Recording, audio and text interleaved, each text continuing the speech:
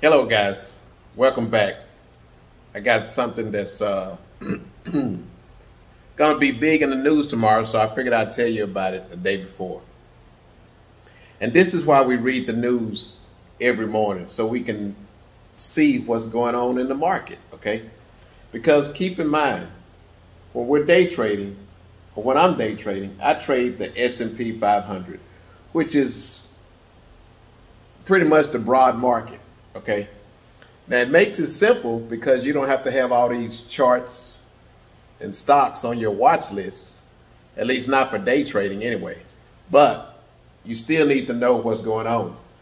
So tomorrow is a free day. No trading. We're off tomorrow. And here is why. The annual Fed meeting is in Jackson Hole, Wyoming tomorrow. And who knows what they're going to come out and say. And with that being on the uh, agenda for tomorrow, all the talking heads on television and CNBC and Fox Business and Bloomberg and everywhere are going to be looking at every word that he says, okay? And before he talk, they're going to be trying to predict what he has to say. And with that, that is going to make the market move unpredictably. And it could make it move, you know, way up, way down, up and down, choppy. Who knows what it's going to do? Okay. But it could make it too scary for us to trade. So, again, like I say, the biggest thing that makes the market move is news. And this is a big news event for the whole market. Okay. And we're trading pretty much the whole market. So, there is no way that I'm going to try to predict how this market is going to move when them guys are going to be talking. And here's the thing. He could come out and say something, and first of all, I don't know what time he's coming out. This is not a normal Fed day. This is an annual Fed meeting thing, okay? He could come out and say something, and the market may move one way. And then all the talking heads will come out and say something like, he's just talking tough or he's talking hawkish, but he's really not hawkish. He's just talking hawkish to help make things go the way he wanted to go. Or they could come out and say he's talking dovish, which means he's talking soft. And he's just talking soft to make things go the way he wanted to go. Who knows what he's going to say? All I'm saying is there's no way that I'm going to try to predict it and trade it tomorrow, okay? One day in the big scheme of things is no big deal. And so that's why I don't mess with it. The Fed during this period here where they're raising interest rates a record amount of times okay? And every time that the interest rates are going up, and they're keep raising like this, you're almost going to go into a what they call a hard landing because things won't get right for the, the way they wanted to as quick as they wanted to. And with that, they're going to keep on. Okay, when they raise the interest rates, they call that tightening. They're tightening. And what they're doing is tightening the money supply, make it harder and harder to get money. That's why they call it tightening. When they're cutting interest rate, they call that loosening. They're, what they're doing is loosening the money supply. When you do stuff like make interest rates low and housing loans interest rate is low, they call that loosening the money supply, which makes it easier to borrow money because you're paying less interest rate, uh, less interest on it. And when you're paying less interest on your money, more people want to borrow. In fact, there was a point in time when the interest rate was at 1%, and people were saying, don't even use your own cash. Only use borrowed money because it's so cheap. Okay? At that point in time, people were saying, don't pay cash for nothing because money was too cheap. Well, now money is not cheap anymore interest rates are over 7% for a 30 year fixed mortgage on a house. When maybe a few years ago, they was only down to three. Some people got two something, okay? So for those people, it had went up triple. And the people that had bad credit, they were getting 4%.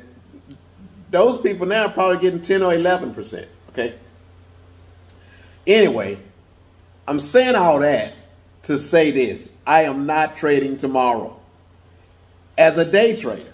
Now, as a long-term investor, you know, you don't, that don't, what he does tomorrow don't affect anything, okay? So, in fact, if it makes your stocks move down, it just may make you make an adjustment tomorrow on a compound collar or something. But as far as day trading, not me. Now, there are some people that try to do it. They try to wait till after he talks, or they try to do it before he talks. But keep in mind, I'm pretty sure there's a timetable when he's going to talk. But even before he talks, they're going to be so busy trying to predict what he's going to say until it just makes the market unpredictable. You could have a day where the market opens up, you know, 20 or 30 points, and then in the next hour or so it go it could be down 20 or 30 points. So hey, it's just not it's just not worth it. And keep in mind, we try to be predictable. We want our money to be consistent month, day after day after day. And when we lose, we want our losses to be small. Well, tomorrow is a day that we don't have to chance it. We don't chance it because we want the nothing is 100%, but we want the odds to be in our favor, way over in our favor. Okay, so tomorrow for me, I don't know what I'm gonna do. I could go to the. I'm not going to the beach, but it's definitely gonna be a play day. Okay, that's for sure.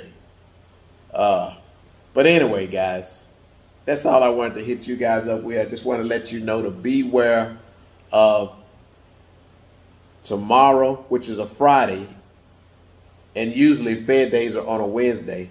Beware of the Jackson Hole meeting in Wyoming by the Fed. Okay?